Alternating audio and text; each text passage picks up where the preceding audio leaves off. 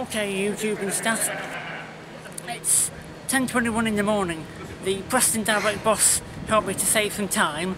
I've just come up from the um, train station. Uh, and clearly, over there, if, you- if you look, look at the, I'll show you over here. You look over there, you can clearly see some stormtrooper types. So we're very, very close to the Guildhall area.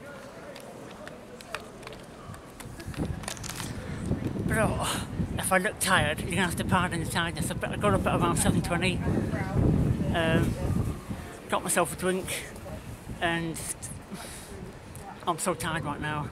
Uh, got myself a drink, and then kind of Ke- Ken kind of um, sorted out the um, um, mobile phone card, and um, then he he left like well not at eight. He, he was gonna leave at eight. He's like left just after eight, and then Anita's come on, and then An- Anita's gone off with, with um, Sam to football. But leaving that aside, Liu, Liu lot wants some Comic Con footage, don't we? Well, we're very close to the Guildhall. I'm going to see if I can.